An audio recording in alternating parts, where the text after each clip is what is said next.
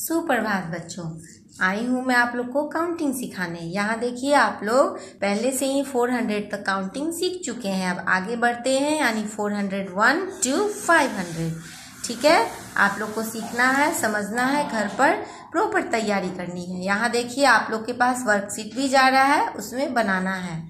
यहाँ देखिए, क्या है? 400 प्लस वन 401, 402, 403, 404, 405, 406, 407, 408, 409, 410 इसी तरह से 11, 12 जोड़ते जाएँगे जब 20 आ जाएगा तो 21 से बढ़ेंगे 30 तक आएँगे फिर 31, 32 इस तरह से 40 आएगा फिर 41 से बढ़ते जाएँगे उसके बाद 50 आ जाएगा।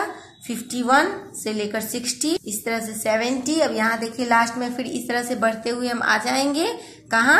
90 तक। फिर लास्ट में nine four hundred ninety one four hundred ninety two four hundred ninety three four hundred ninety four four hundred ninety five four hundred ninety six four hundred ninety seven four hundred ninety eight four hundred ninety nine and five double zero five hundred. ठीक है? इसी तरह से आप लोग को सीखना है और लिखना है। ये मेरी काउंटिंग हो गई four hundred one two five hundred ठीक है? ओके इसको सीखना है। बाय